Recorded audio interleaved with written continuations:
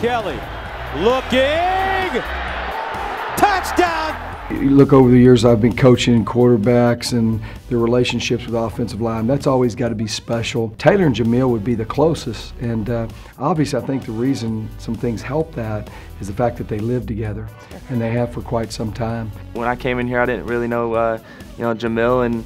Um, you know, we, we had a we had a bunch of classes together. Just started hanging out with each other. You know, one day I he just kind of I came back to my dorm room and he was already in there with my other roommate, and you know from there we just linked up and we've been friends ever since. Once freshman year ended, uh, we decided to, you know, have myself, him, and uh, my two other roommates that we had uh, move in together. They are kind of the odd couple when you see them, uh, you know, walking down the street or, you know, whenever you first find out that they're uh, roommates and you know, obviously great friends. Uh, it comes more than just a teammates, you know, the brotherhood that we have here. I mean, these guys, I mean, they go on vacations together. They spend every kind of, you know, waking moment with each other. And, and to have that guy on your backside that you know you can trust and count on and, and to, just to have that, uh, you know, that bond is something special. Kelly starting to get going. The ASU offense on second and four.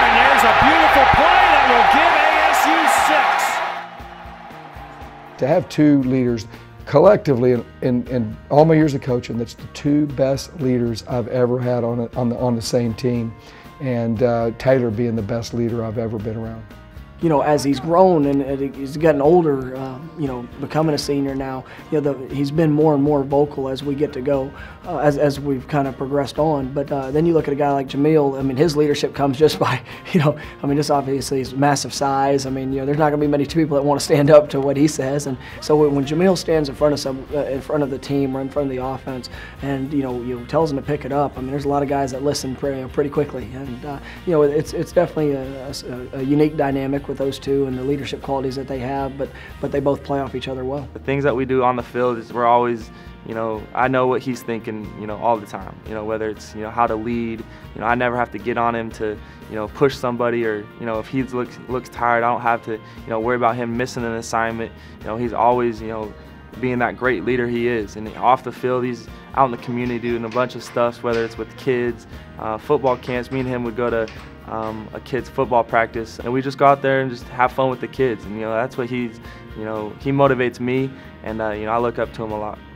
It's been a long, long journey, um, to be honest. I mean, just from being freshman, going through a coaching change, and then you know, being able to start the same year, to see him grow into the quarterback that he's he's come. I think he's one of the best in the Pac-12, if not the best to see him do that is it's, it's a great feeling because I know I'm a part of it. This is their team. It's an honor and privilege for me to get to lead them and to be their coach. But truly, you have to have players, you have to have people that cross the white line that really do the leading. I'm going to be relying on them heavy. And uh, 100%, this is their team. It's all about the unit, it's all about the brotherhood. And uh, when I lay my head on my pillow at night, there's not uh, two young men that I trust more than Taylor and Jamil. Team on down the field. Fight with you might till victory is ours. Long may colors wave over others. Sing to two. Hurrah! Hurrah!